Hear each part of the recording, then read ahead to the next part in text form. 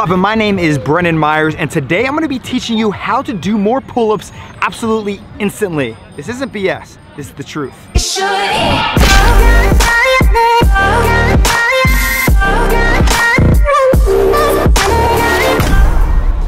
All right, so who you see right here is Nick. He was just grabbing the camera for me, and today I'm gonna be teaching you through him and his little turtle shirt. So we're gonna be going through this and I'm going to give you specific cues that you could be doing to instantly help your pull up.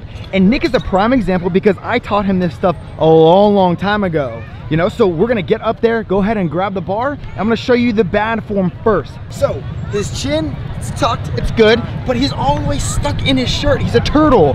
Next is his hands. His thumb is under the bar, or over the, sorry, over the bar rather than under the bar. Needs to be the opposite. His elbows, they're fully extended. His shoulder, the, everything is just way too loose. His feet are dangling. He's swinging a little bit. His back and his spine is just way too extended and we need to correct it right now. Now what we're gonna be really focusing on is a few different things. So that hand placement. And what I want you guys to do is stand up for this right now, okay? So go ahead and show them a hand placement. So go ahead and just put your arms overhead. What we're gonna be focusing on is keeping that thumb under the bar, okay? And those elbows are going to be just slightly, slightly flexed here. And then the most important thing is really those retraction and depression of the scap. So as you can see, he goes up and then he comes down and he retracts. He's like squeezing like there's an apple or something in the middle of this. All right, so what we're gonna be doing is go ahead and grab the bar. Now his hands aren't gonna be too wide. They're not gonna be too close. It's perfect sizing right there. His thumb, as you can see, is wrapped under the bar. That's perfect for working all those forearm muscles. His back right here, he's gonna tuck in his stomach. That's number one. And he's going to release and come back in again.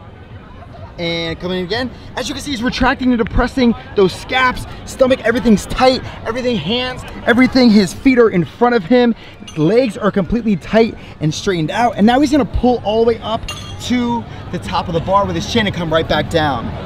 And he's gonna pull straight back up. And as you can see, he's extremely controlled through the whole movement. Now he's gonna drop down.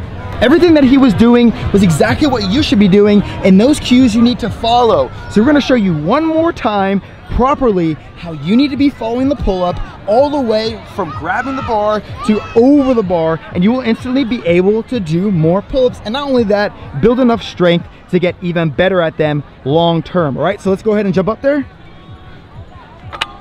so first of all, thumb is under the bar. He's squeezing with all of his fingers. Next, he's retracting and depressing those scaps. He's going to tuck in his stomach, use his core. Then he's gonna tighten up his quads, his calves, everything. Squeeze his legs together. And when he pulls up, he's going to go in a complete angle, come back down, with the feet under the bar, in front of the bar, and go right back up as so, okay?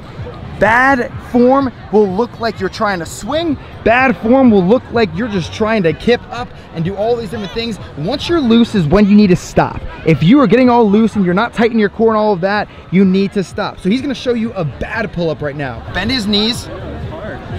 Bend him backwards a little bit, just like that. This is a bad pull-up. He's gonna be swinging forward, and as he's going the momentum backwards, he's trying to pull up.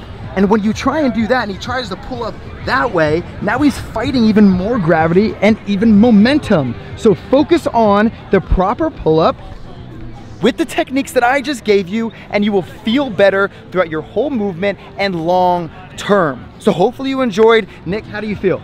Good, man. That was great. absolutely, right? So your, yeah. your thumb, everything, it's so important because he's working the muscles necessary. And it's not only his back, it's his full body. And that's where he can produce the most power and strength long term.